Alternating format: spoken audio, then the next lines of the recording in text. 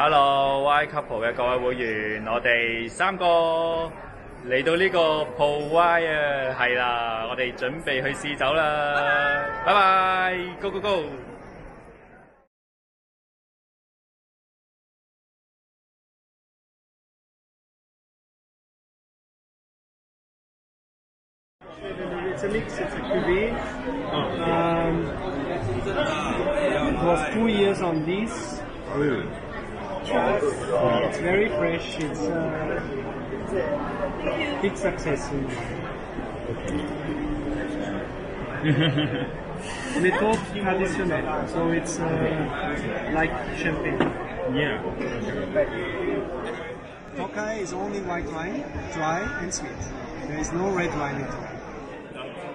咦，見到阿酒小妹試緊支酒喎、我哋而家係嚟到一個奧地利嘅產區，咁啊，酒小妹你而家試緊咩啊？Hello hello hello，係而家時間多謝你嘅酒，因為咧見到嗯咧我哋嗯嗰個 logo 吸引咗，嗯都係好特別嘅嘢嚟嘅。所以我哋就請阿莊主嚟介紹下，簡單介紹下故事嘅背景俾大家知道。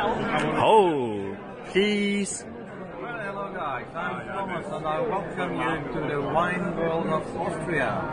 I brought to you the classic red wines of indigenous grape varieties that we produce in Austria. It's Zweigelt, the so-called Zweigelt, the most popular red in Austria. And I like to show you a Blau Frankish, the blue Franconian wine, tasting of blue and black fruit and some. And our third local grape in the country is Saint Laurent. Saint Laurent being a relative to the Pinot Noir family. We don't really know its origins, but we know that the mother is Pinot Noir. Mm. Very similar. Pardon me?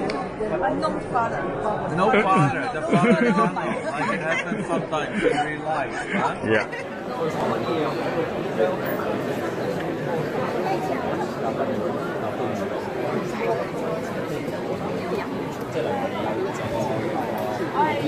诶，长城都好简单。